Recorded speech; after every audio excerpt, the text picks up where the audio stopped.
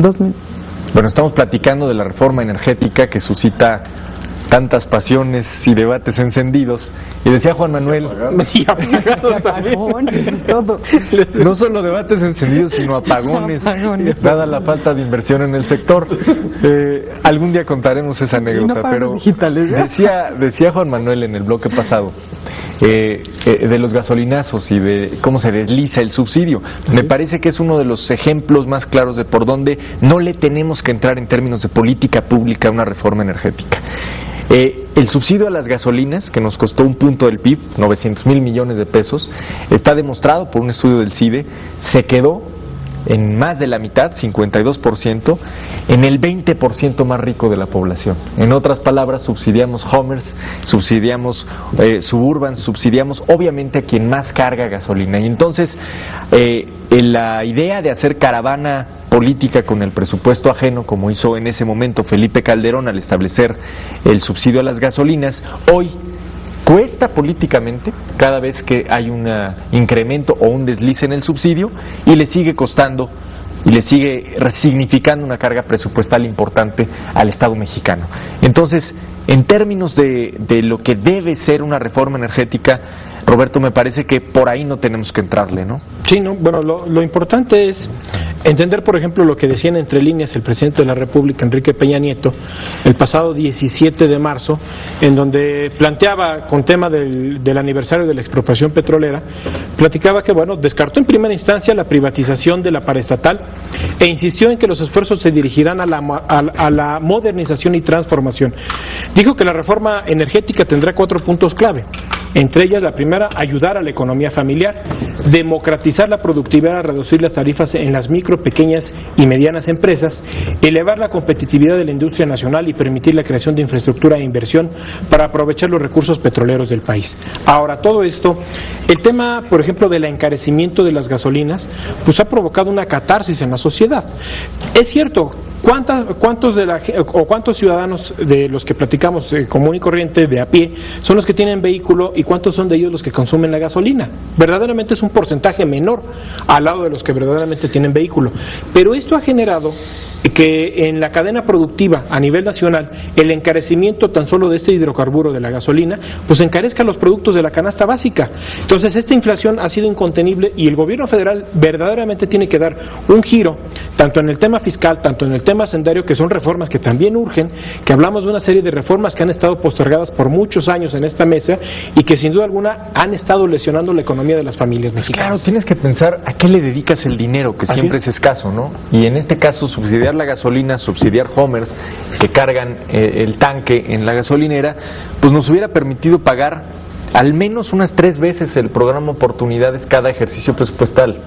Entonces, eh, si estamos discutiendo la reforma energética, me parece que, eh, y algo que tiene que ver con lo que decía Juan Manuel hace unos momentos, atiende a que el gobierno federal tiene que ser muy claro en dónde va a participar la iniciativa privada, en qué va a significar esta reforma urgente para el sector y qué gana el ciudadano, no nada más el, el eventual inversionista, si va a estar en exploración y producción, si va a estar en transporte, si va a participar en toda la cadena de valor, en la comercialización, si, si se va a abrir el sector de petroquímica. Entonces, me parece que eh, de todas estas reformas amparadas en el Pacto por México, esta es la, la que te demanda mayor claridad y, y de, de cara al ciudadano, ¿no? Por todos los efectos que tienen. Yo, yo ahí diría que la más importante de todas las reformas es aquella que cambie la manera de comunicarse entre gobierno y gobernado. Porque ahí es donde está el problema. Seguimos aplicando las mismas normas de hace décadas, donde nos llegaba un temblor y escondíamos a los muertos. O sea, sentían que era una ofensa el decir que había 20 mil muertos. No, son 5 mil. O sea, los que tienen acta de defunción son 5 mil. Digo, y esconder todo este tipo de cuestiones. El hablar con tanta irresponsabilidad como que se hablaba y con, mu- con un alto grado de cinismo, donde una cosa significaba la otra, o en el mejor de los casos, no obligaba para nada al gobernante. O sea, yo digo una cosa y mañana digo la otra, como la chimoltrufa. Así como digo una cosa, digo la otra y San se acabó. Entonces, yo creo que tiene que haber un cambio de, de actitud. Yo veo y aquí viene un, un, un tema muy interesante, eh, lo que está pasando ahorita con el, el- la petición que le hace el Congreso al presidente de la República, en el sentido de que ya que dijo que iba a ser pública su declaración patrimonial, ahora que la haga pública. O sea, no que la presente a medias. Entonces, bueno, este es un muy buen ejemplo donde la palabra obliga. O sea, legalmente no tiene obligación el presidente de la República de, de- de hacer pública su declaración, pero él dijo que sí. Y por lo tanto es obligatorio. Esos son de los pocos Pero errores que ha cometido este gobierno. ¿eh? Bueno, también de los Ya salieron a decir que sí la Son de los pocos forma. errores porque realmente el tema de las declaraciones y que más o menos el que medianamente cumplió fue el Procurador General de la República, Jesús Murillo se Caram. apegó a la ley. Se Ahí la la, ley. ley. no obliga a hacerlo público. Claro. Pero si tú dices que lo vas a hacer público, Estás ahora tienes que hacerlo público. Pero en este- a lo que yo voy es a esto.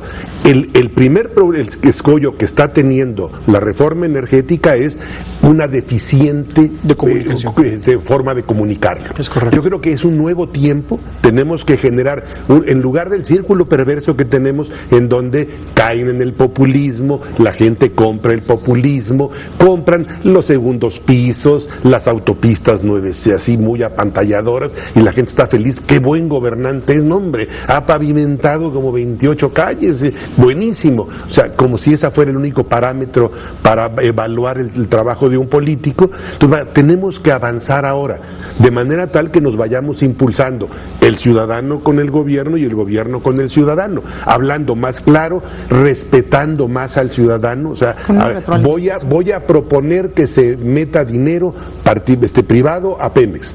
Tengo la obligación de explicarte ¿Para qué? cómo lo voy a hacer y cómo te voy a garantizar lo que a ti te preocupa, para que con eso vayamos avanzando en el ámbito social, que es finalmente lo que le va a dar sustento a Claro. todos los cambios. ¿no? Y al final del día que se sustente la utilidad pública de permitir la participación privada. Si esto no es nada más más regalar por claro. regalar o concesionar por concesionar. apoyar a los cuates. Esto tiene que aquí ver- en México no se utiliza eso, ¿no? O sea, el apoyo a los Rara cuates. vez, ¿no? Rara, rara vez. vez, pero- en algunos países del este- de, de- de- de- en, de- en de Europa, algunas creo. otras latitudes este, se ha hecho alguna vez, pero creo que tiene que ver con la utilidad pública, es decir, la participación privada va a permitir que accedamos a reservas petrolíferas que hoy solo son eso y va a permitir que las transformemos en patrimonio y garanticemos la demanda de energéticos de aquí a 25 años. Si eso logra demostrarse con números eh, de forma muy puntual, de forma digerible para el ciudadano, entonces la reforma podrá ir ganando adeptos. Si nos metemos en este debate de es privatización, no es privatización, Que es una dicotomía ahí maniquea, pues me parece que el gobierno lleva todas las de perder, porque estará jugando a la defensiva cuando eh, el movimiento en defensa del petróleo, que deriva del movimiento López Obrador, tiene absolutamente todas las baterías puestas en ese tema. Hay que entender que es la mayor válvula de oxígeno político y mediático que hoy por hoy tiene Andrés Manuel. Así es. Entonces me parecería un tremendo error entrarle igual que se le entró en 2008, con una campaña mediática, ustedes se acordarán, El tesorito. el tesorito que teníamos debajo del mar y que a la mera hora pues eh, se evaluó el, el costo de sacar a todo mundo a las calles y de permitir que esto le diera oxígeno al observador y quedó una reforma maltrecha, pequeña y tan poco útil que hoy apenas unos años después estamos planteando la necesidad de una reforma una reforma, energética. Entonces, las lecciones están ahí para quien quiera verlas. Yo nada más agregaría que el costo de hacer una reforma energética en serio y el costo de hacer una reforma energética parchada, mal hecha y pequeña es exactamente el mismo. Claro. Te van a acusar de vendepatrias los que, los que promueven esa bandera de cualquier manera. Entonces, tomando eso en cuenta, ve por una reforma de gran calado. Aprovecha el timing político y aprovecha el paraguas que te da el, el Pacto por México, que también tiene fecha de caducidad, Sí, es decir, supuesto. este, este diálogo y concordia no va a durar para siempre, para ir por una reforma que, que en verdad te permita transformar el sector energético, al menos en el mediano y largo plazo, ¿no? Digo, lo importante de esto es primero que, las, de, que saquemos del, del cajón de las experiencias lo que nos ha funcionado y lo que no nos ha funcionado. Bien dice, bien dice el dicho que país que se olvida de su historia tiende de nueva cuenta a, repetir. A los los mismos errores. Entonces, bueno, creo que lo importante de esto, como dice Pepe, sí es muy importante que vayamos hacia una reforma energética de gran calado que permita verdaderamente a los mexicanos obtener beneficios. Porque si el mexicano común y corriente no obtiene ningún beneficio de esa reforma energética, simplemente no llegamos a Perdón, ese es el punto central. A quien pierde o gana con la reforma o la no reforma es el, el ciudadano, es es. el pueblo. Claro. Digo, este, Pues digo, eh, es que tanto uno de cada tres pesos, insisto, uno de cada tres pesos del presupuesto público viene de la renta petrolera. La decisión es, ¿lo administramos, ese pesito, o lo crecemos en el presupuesto Lo público? mejor es crecerlo. Lo mejor es crecerlo. Y, y si hablamos de una reforma energética que vaya encaminada a fortalecer la paraestatal, a fortalecer la exploración, a fortalecer la, la extracción del petróleo en, nuestro país, el tratar de ir generando inversión en el tema de refinación para ser menos dependientes externos de la, de la importación de hidrocarburos de otros países y encarecer el producto de, eh, y encarecer aquí los productos energéticos en nuestro país como la gasolina, el gas natural, todo este tipo de cosas. Bueno, eh, simplemente el ciudadano no va encontrar una puerta de salida que le permita verdaderamente hacer rendir lo que, lo que gana en su bolsillo y lo que tiene en su bolsillo. Eh, si algo lesiona tanto a la población, sin duda alguna es que le peguemos en el tema del bolsillo. Y si esta reforma energética no va a tratar de atemperar ese golpe tan impactante que le está dando a la población, sin duda alguna no va a haber reforma energética que sea funcional en nuestro país. Lo importante es que vayamos viendo que sin duda alguna el encarecimiento de los productos de los, de los productos de la canasta básica también deriva justamente de una reforma energética que es urgente y que se requiere justamente que vamos con, con- con miras de altura para tratar de construir una reforma muy amplia que beneficie verdaderamente a todos los mexicanos. Ahí, ahí yo diría que hay dos presupuestos básicos para sacar, a- a- para hacer llegar a buen puerto estas reformas. Número uno, claridad en lo que está planteando el, el gobierno y fortalecimiento de la autoridad moral para hacerlo. Mientras siga permitiendo en Pemex, por ejemplo, lo que está pasando, eh, eh, el saqueo que se está cometiendo ahí, pues no tiene mucha autoridad para decir cambiemos y todo, y con los mismos. O sea, tiene que haber un cambio verdadero para poder tener autoridad moral. Porque además la llave de la participación privada es solo una de las muchas que hoy tiene que analizarse en el caso de Pemex, porque en efecto, eh, tan solo hay que ver la cantidad de barriles de crudo que se producen por trabajador versus otras empresas eh, nacionales. Por ejemplo, en México eh, traemos 137 mil trabajadores de petróleos mexicanos, cuando Petrobras funciona con 75 mil y saca más barriles de crudo. Entonces, ¿qué componendas políticas han permitido llegar a esos extremos de ineficiencia, a esos extremos de, de poner eh, prácticamente en la bancarrota la principal industria nacional en aras de mantener contento un liderazgo, ¿no? Que tendrá que ajustar cuentas con el mismo rasero con el que se hizo con la profesora, sin duda.